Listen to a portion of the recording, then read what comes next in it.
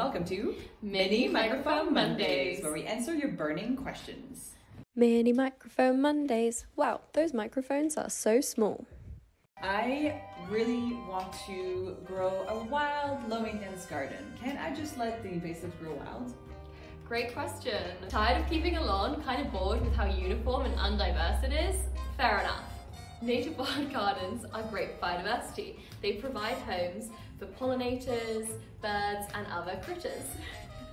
they also look pretty cool. However, a wild garden is not PC if it's covered in invasive species. Invasive plants tend to outcompete all the lovely native plants. Create dense monocultures, which is actually very bad for biodiversity. Invasive plants also have a tendency to, well, invade. So don't be surprised if your invasive plants are suddenly infringing on your neighbors, or vice versa, who knows? Depending on where you live, there might also be some bylaws or regulations uh, that prohibit you from growing invasive plants on your land. So little did you know, your wild garden might actually be illegal. Low maintenance gardens are great, but letting invasives run amok is not the way to do it. Mini microphone Mondays. Wow, those microphones are so small.